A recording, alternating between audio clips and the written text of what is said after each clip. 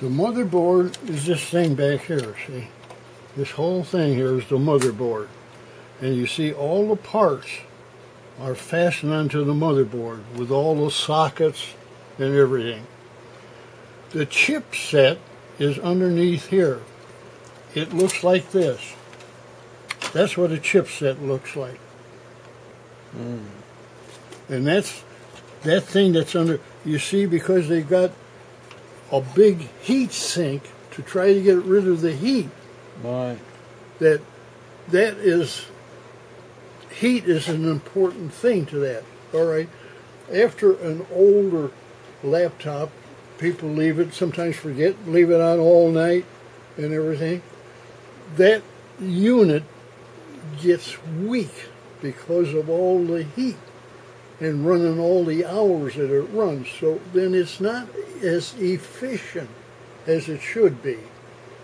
And that's what I'm suspecting that that isn't up in the laptop.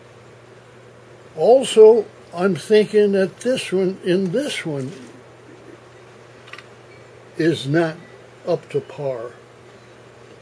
That's why I said I'm trying to get an update driver for that chipset, like this thing here.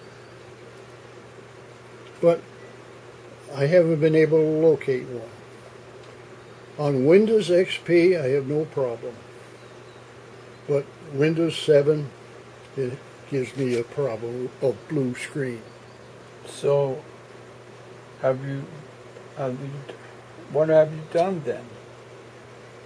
Whenever I got a minute and feel like doing it, No, what are you, uh, have you done? Have you, what have I done? yeah, Well, I, I, I, go into uh, Google because uh, No. when I no, no, um, what have I done?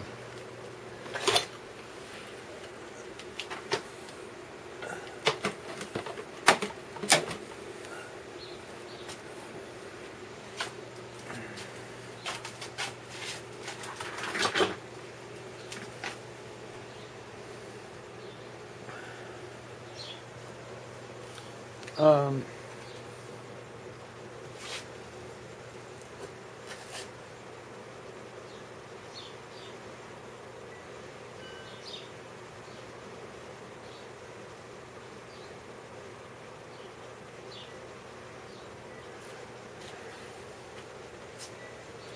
um,